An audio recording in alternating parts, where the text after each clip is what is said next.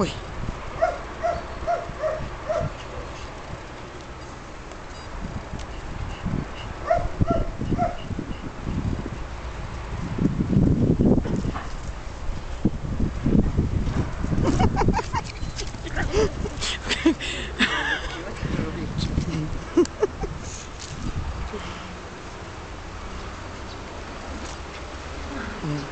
Ну, мамка, ты совсем не даешь им играть.